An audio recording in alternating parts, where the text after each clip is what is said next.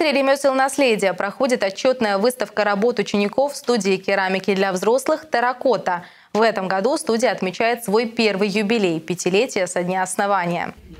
Главная тема – свет, цвет, форма. В экспозиции представлены светильники и очаги света, которые наполняют зал теплым светом и создают уют. Всего здесь собрано более 50 работ, выполненных как новичками, так и теми, кто занимается здесь с создания терракоты. Подготовка экспозиции заняла целый год. Прийти в студию может любой желающий, занятия бесплатные. Выставка будет открыта до 22 ноября студия керамики, они э, каждый год заявляют новую выставку отчетную.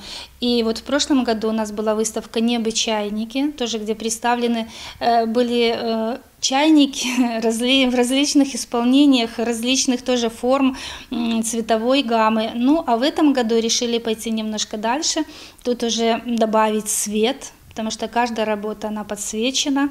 И, ну, вот таким образом получилось такое вот такие замечательные произведения, которые вот, ну, восхищают. С каждым годом количество работ увеличивается, а качество улучшается.